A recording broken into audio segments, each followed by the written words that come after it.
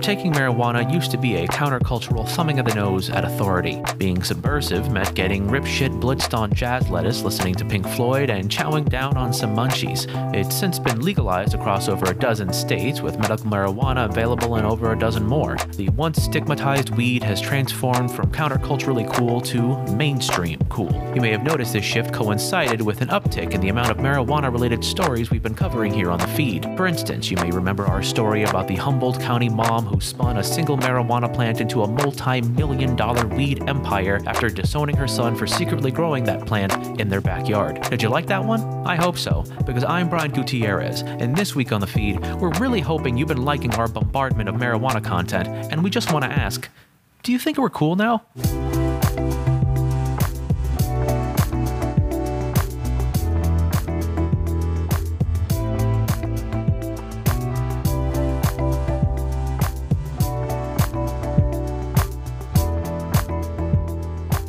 To get a better sense of whether we're cool now, I'm bringing in the feed's social media manager, Emily Pottsville. Welcome to the show, Emily. Thank you for having me on. Absolutely. And in the spirit of being cool in regards to marijuana, I just want to let you know that if you're rip shit blitzed out of your freaking gourd right now, that's totally fine because marijuana is cool. But the question is, are we cool now that we talk about it all the time? Well, Brian, I'm sorry to report that the meter on our coolness hasn't moved a whole lot since we started relentlessly churning out marijuana themed episodes to coincide with SEO trends. Oh, bullshit. Are you serious? I'm afraid so, Brian. The general consensus seems to be that listeners can see right through our facade. A lot of them are saying that we couldn't even roll a joint to save our lives. All right, they got me there, but they must have been impressed with our five part special on the best snacks to eat while high, right? Not at all, Brian. Uh, a lot of them said it was a hacky premise that was terribly executed. Listeners strongly disagreed with the third episode of that series in particular. Uh, The one about roasted balsamic glazed Brussels sprouts? That's the best one. What else are you supposed to eat when you're riding a tsunami of euphoria? Cookies? Cake frosting? I might be high, but I'm not an animal. Well, that kind of goes hand in hand with people not being big fans of your previous position on marijuana back before it became a trendy cash cow. Oh, well, look, uh, okay, about that. When marijuana was first being legalized, I was against it. I'll be the first to admit that everyone here at the feed used to be all for mandatory 20 year prison sentences per ounce of weed for first time offenders. But hey,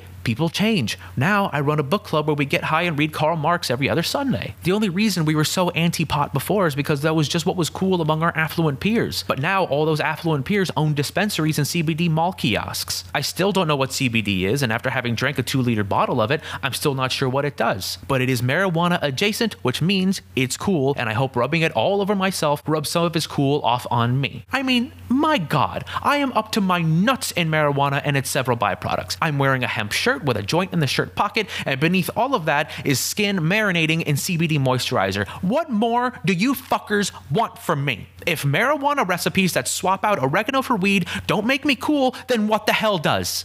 I can't get a tattoo of a whisk on my forearm like all the cool foodies. It'll take up the spot for my Disney princess arm sleeve that I've been saving up for for years. That's where Ariel's gonna go. I'm sorry? Fuck you're sorry. We have 12 more marijuana episodes in the can, goddammit. You tell me what I'm supposed to do with the episode about the white kid in Portland who made a fortune after opening a marijuana stand in his front yard. Or, or, or the one about the black kid in Mississippi who did the exact same thing and is now in prison for 25 years. I mean, it's just not fair.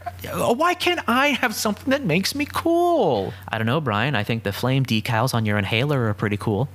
Thanks for the report, Emily. Look, I guess I'll just learn to be happy being an uncool food dork. Hope you ungrateful pieces of shit like episodes about metric versus imperial measurements because that's all you're getting, but certainly not next week because next week on the feed, we've got a whole new episode about marijuana that will bring me no closer to dating one of those Coachella Instagram hippies with the flower crowns. But uh, do me a favor and uh, cut that part out so my wife doesn't hear it. Brian, you do remember that you made me set this up as an impromptu Instagram live stream, right? I did? Yeah. Do you know if my wife's watching? Uh, she said yes in the stream chat. Um, now she's saying middle fingers, and now uh, a knife with the eggplant emoji. Uh, it goes on like that for a while. Okay. Okay. Follow us on Twitter at InaudibleCast and throw a few of your hard-earned bucks over at our Patreon every month, which you can find at patreon.com slash inaudiblepod.